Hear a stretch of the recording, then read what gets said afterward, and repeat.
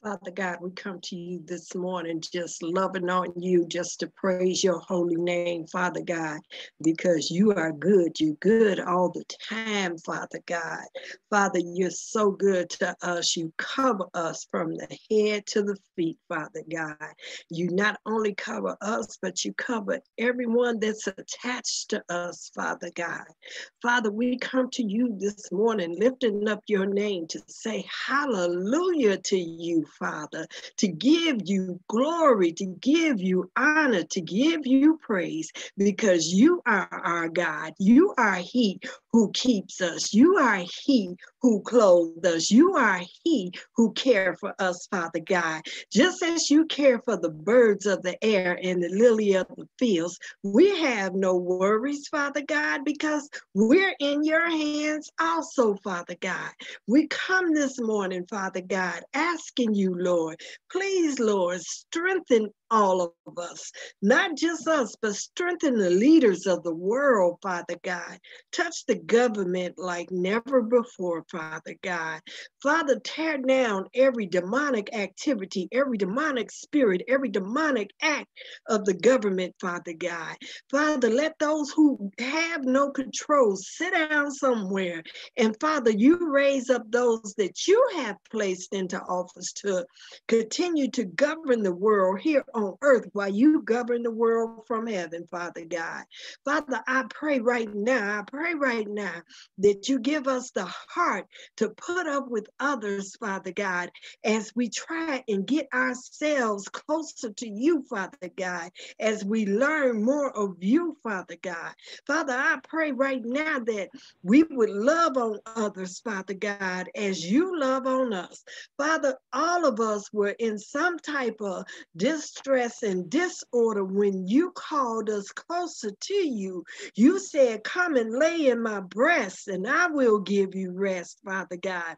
Father, so give us patience, give us the, the knowledge, the wisdom on how to draw those closer to you for you, Father God.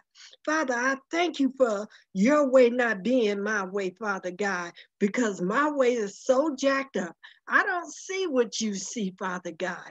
You see the beginning, the middle, and the end. I only see what's in front of me here on earth. I don't see what's in the second heaven. I don't see what you have planned for me.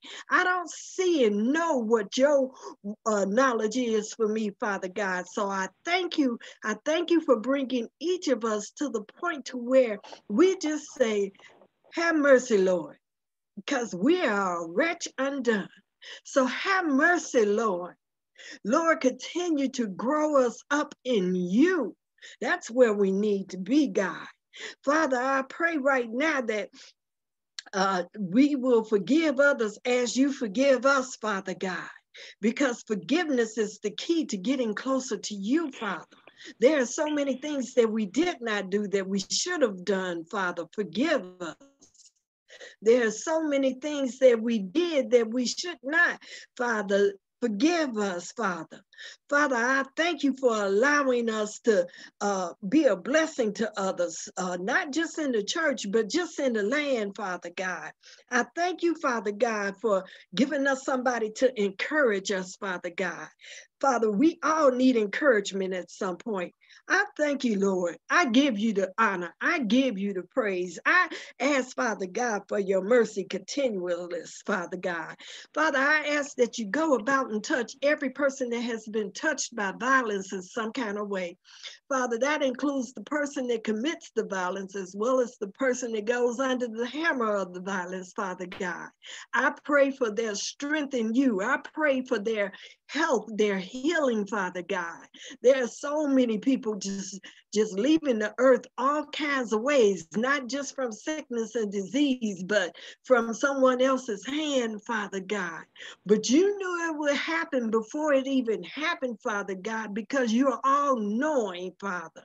So, Father, I come to you asking for mercy for everyone that's involved with some type of violence, Father God.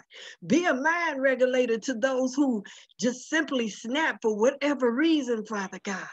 Touch their mind as you did the man in the mountains, Father God, that they would, man would come back to them the way that you've create, created it to be, God.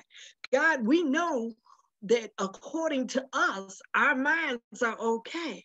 But God, only you know at what point we'll break. Only you know, Father God, at what point that we'll try to reach out and do harm to self and others, Father God. Oh, Father God, stop us from hurting ourselves, Father God. We hurt ourselves mentally and physically and emotionally, Father God. Father, let us love on you. We don't need to find no one here on earth to love. Our assignment is to love on you, God. And we want to do it so wholeheartedly. And we thank you, God. Father God, help us not to hurt ourselves, Father God, mentally. We don't have to worry. We don't have to be anxious, Father. But so often we take on those traits, Father God. Help us not to be jealous of one another, Father God, because you've created us all equally, Father. Father, take away that spirit of suicide. Throw it in the pits of hell, Father God, that each one may live the life that you've designed us to live, Father God. Father, I pray right now, Father God, that you, God, and you alone will govern this earth, Father. You said, if my people who are called by my name would humble themselves and pray. Father God, we're praying, we're reaching out to you, Father God. You told us in the book of Jeremiah that you will heal each and every one of us, Father God. So, Father, we stand on that promise that you've given us. Oh God, we come to you right now, just loving and, and, and praising you, God, for being with us all the time, Father God. You don't even have to, Father God. Who else would be with wretches such as us, Father God? As, as hard as we try, we'll never come up to your standards, Father God. Father, I pray for the salvation and deliverance for families, Father God. Families have a lot of reasons and, and a lot of actions and a lot of ways that are not your ways, Father God. The average family is in strife and contention with one another, Father God. And they're that way due to favoritism, Father God, where some parents favored one child over the other, such as Joseph was favored, Father God. Then there's, there's jealousy, Father God, such as Reuben's, Father God and the brothers that were jealous of Joseph, Father God. Some families just have dissension because uh, uh, they are just wayward. They will not adhere to what the parents are trying to teach them, Father God. Father, touch every dysfunctional family there is. Draw the children back to the parents, Father God. You told the parents to train up the child in the way that they should go, and they, when they get older, they shall not depart. But Father, it seems in this day and time that the older children are just as bad as the younger children, and the younger children are just as bad as the grown-ups, Father God. The grown-ups trying to be young and the, uh, the young trying to be old, God. But everything happens in each season for a reason according to you, Father God. Father, I pray uh, Miss Minnie has asked us to pray for the young ladies and the young men of the world that uh, they come to know you. I pray that they not only come to know you, but they come to develop self respect. We are such a disrespectful world. Father God, let the young men pull those pants up. Let the young ladies pull those dresses down. Let them uh, wear looser pants, Father God. There's nothing wrong with a lady wearing pants, but Father, let them look respectable, Father God. And for me personally, God, I pray that you would take every pair of jeans with all them holes off the earth.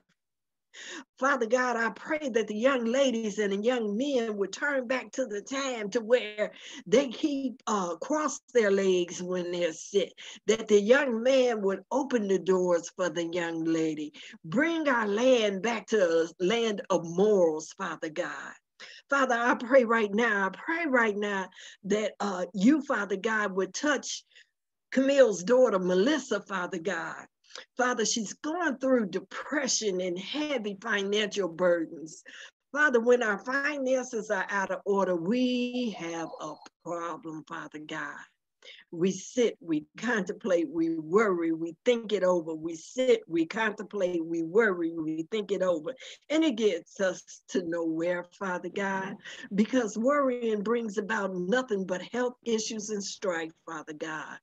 Father, I pray for Melissa right now that she would release the heavy burden of the financial burdens, Father God. And that she would not go through depression. Every time she feels herself getting depressed, I pray that she would say, Hallelujah. Thank you, Jesus. I praise your name. Oh, Father God, she's your child. Her mother's praying. We're praying, Father God. Regulate her mind. Bring her back to you, God. Oh, Father God, I pray for every family member who is sick for Laurel, Father God.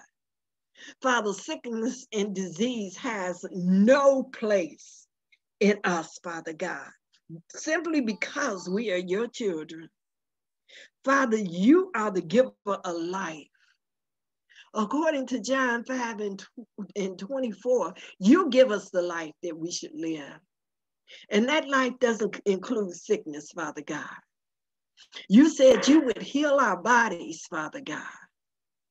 That you would cure all our illnesses and diseases, Father God. I pray right now that every person that is sick under the sound of my voice be healed, that they could reach out and touch every family member, and that touch from that to that family member would heal them in the name of Jesus. I pray. I pray right now that, Father God, that you uh, would bring down all strongholds against every person's body, Father God.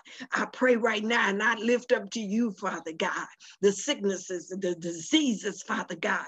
Diabetes, you have no place in our life. Cancer, you have no place in our life. COVID, you have no place in our life. Our lives belong to you, God. And any other sickness, heart problems has no place in our life. Strange muscles don't even have a place in our life, Father God. You are the only person, the only being to have a place in our life. And I'm asking you to touch, touch as only you can, Father God. I pray for Sheena, Father God. I pray that she has no more falls, Father God.